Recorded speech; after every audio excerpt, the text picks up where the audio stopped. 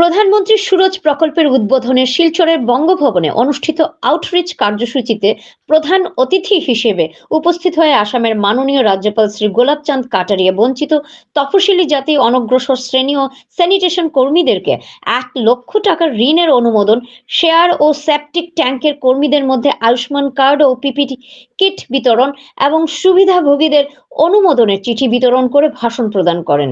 এতে ভারতীয় মাননীয় প্রধানমন্ত্রীর ভাষণ সরাসরি সম্প্রচার অনুষ্ঠানের পূর্বে রাজ্যপাল তার ভাষণে বলেন যে তিনি বিগত পঁয়তাল্লিশ বছরে রাজনীতিতে এমন প্রধানমন্ত্রী কখনো দেখেননি, যিনি বাস্তবে উঁচু নিচু জাতি ধর্ম ভেদাভেদ না করে গরিব কল্যাণের কাজের সূচনা করেছেন, যা অত্যন্ত আনন্দদায়ক। তিনি বলেন যে পূর্বেও বিভিন্ন প্রকল্প এসেছে, কিন্তু কিছু ব্যক্তির জন্য এগুলো রূপায়ণ করা হতো। কিন্তু বর্তমান প্রধানমন্ত্রী এই ধরনের প্রকল্পের আওতায় আসা সকলের জন্য সম্পূর্ণভাবে লাভান্বিত করতে প্রচেষ্ট। রাজ্যপাল বলেন যে দেশের পাঁচশো বাহান্নটি জেলাতে এই ধরনের অনুষ্ঠানের মাধ্যমে প্রকল্পের সূচনা করেছেন তিনি।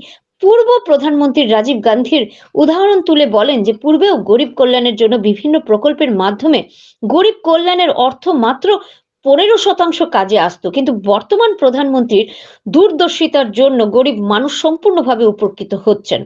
রাজ্যপাল প্রধানমন্ত্রীর বিভিন্ন প্রকল্প সমূহের কথা উল্লেখ করে বলেন যে, ব্যাংকের মধ্যে গরিবদের অ্যাকাউন্টের অর্থ দেশের বিকাশের জন্য কাজে আসছে। বর্তমান সরকারের দ্বারা দেশের চার কোটি মানুষের গৃহ নির্মাণ, উজ্জ্বলা যোজনা দেশের মানুষের প্রায় সত্তর শতাংশ নলের মাধ্যমে পানীয় জলের ব্যবস্থা, দেশের প্রায় আশি কোটি মানুষের জন্য চাল, গম বিনামূল্যে প্রদান করতে সমর্থ হয়েছেন প্রধানমন্ত্রী নরেন্দ্র মোদী এবং আগামী পাঁচ বছরের এভাবে মানুষ উপকৃত হতে পারবেন বলে তিনি উল্লেখ করেন।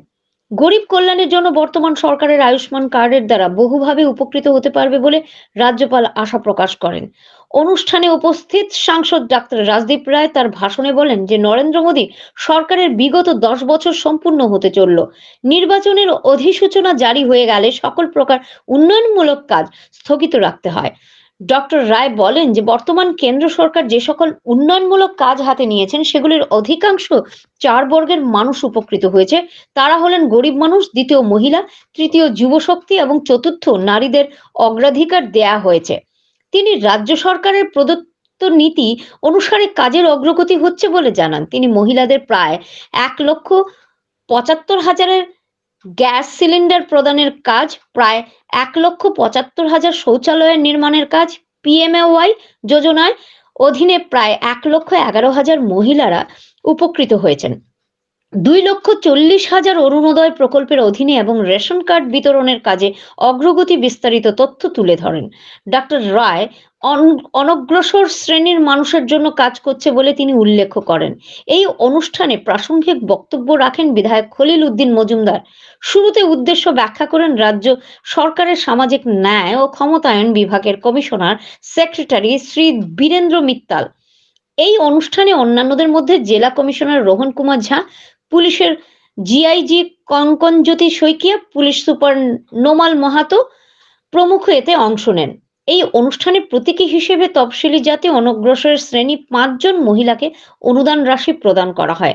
এদের মধ্যে শিপ্রা দাস, রিঙ্কু বিশ্বাস, মমতা দাস, সঙ্গীতা দাস এবং শিল্পনা রানী রায় রয়েছেন এবং নমস্তে আয়ুষ্মান কার্ড এবং পিপিআই কিট বিতরণ করা সাফাই মিত্ররা হলেন মিঠন দাস, রাজকুমার রবিদাস, বাজাই রংমাই, সবিনয় চন্দ্র দাস এবং মনিরুল হোসেন চৌধুরী সমগ্র অনুষ্ঠানটি সঞ্চালনা করেন বিপ্লব বিশ্বাস।